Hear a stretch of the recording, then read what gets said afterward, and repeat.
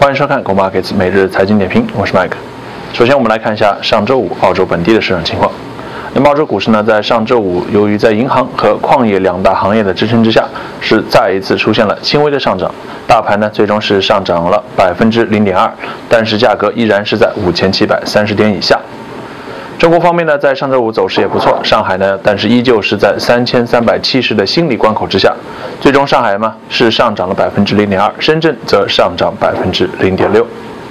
在欧美股市上均有不同程度的反弹，欧洲方面呢，平均涨幅在百分之零点一至百分之零点七之间，而美国的三大指数呢也平均涨幅，但是非常有限，都是在百分之零点二以下。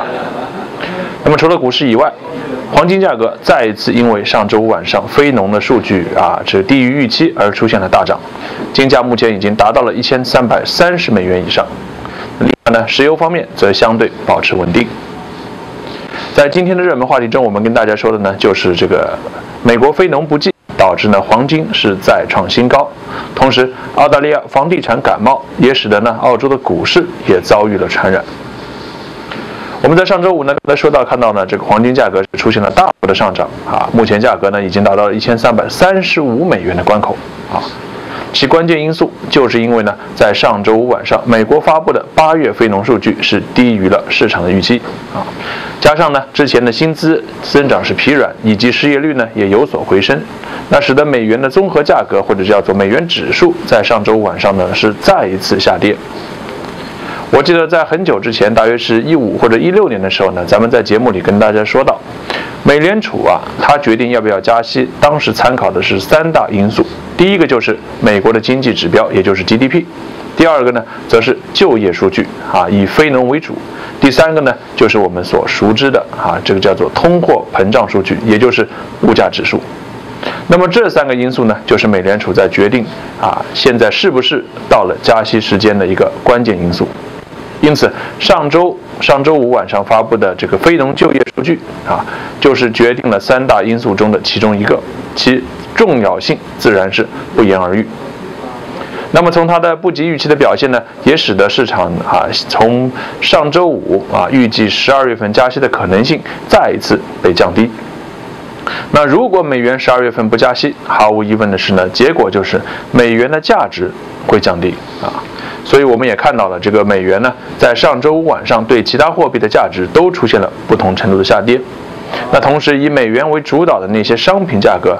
则因为美元价值的下跌而出现了面值数字的上升啊。比如说，我们知道这个黄金啊。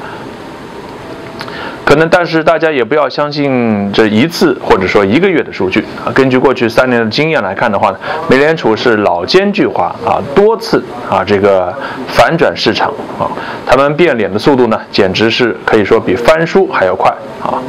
所以说，他们到目前为止依然没有发布官方的关于十二月到底是加息还是不加息任何偏向性的言论。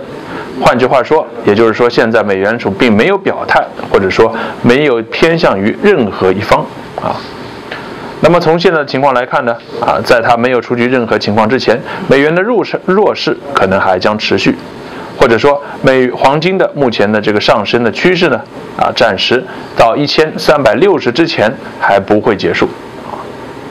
说完黄金之后，我们再来看一下澳洲方面。我们知道呢，最近几周澳洲的拍卖率以及新悉尼那边的房屋价格都有所回调啊。那可能很多朋友们觉得这个房屋拍卖或者说是这个房屋啊这个清盘率啊跟我没有本本身的关系啊。那这样想大家可能就错了啊。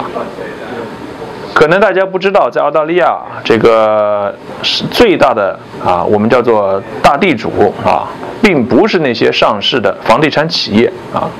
恰恰相反的呢，是澳大利亚四大银行啊，包括了像国民银行啊、联邦银行之类。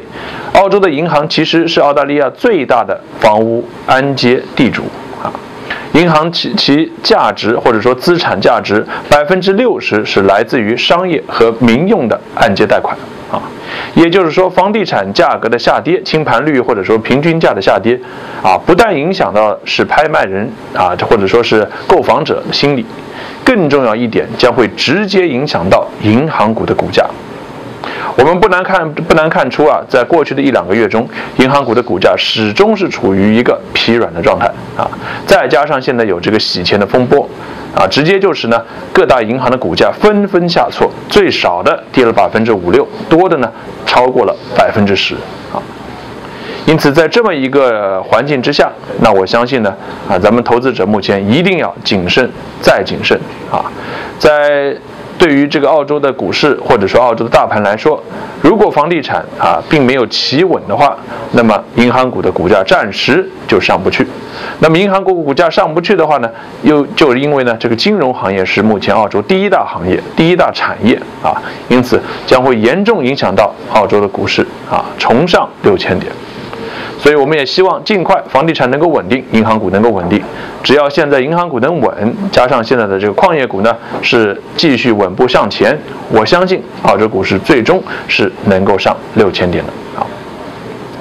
今天的主要这个产品，我们来看一下这个产品就是英镑对美元。第一张图我们看的是日线长期走势图，我们看到英镑从今年的四月份开始冲破了一个过去啊一年半以来的下跌趋势啊。上去一次下来，目前是第二次，重新又回到了之前上去的一个关键颈线位，大约是在一点三零左右啊。那么从现在价格来看，虽说它没有创创出年内的新高，但是目前的价格距离这关键线价格并不是太远啊。我们有理由相信呢，英镑价格在目前这个价格的话呢，一点三零以上是一个比较好的中长期投资价位。再来看一下四小时的走势图，我们也不难看出，现在的一点二九五零左右的价格，其实应该说啊，也是在一个高点附近啊。如果我们不以一点三零为为为最高点的话啊，那么如果上了一点三零再进场，相对来说是稳定一些。但是现在的价格，或者说稍微上去一点二九七五以上的价格，也已经非常不错了啊。所以投资者保守一点一一些的话呢，就在一点三零以上可以考虑进场看涨英镑对欧元。那如果你稍微激进一些的话呢，现在价格也不失为一个明确的上涨信号。好，那么最后投资者需要注意的事件，在晚上六点半，英国会发布他们的建筑业 PMI 指数。啊，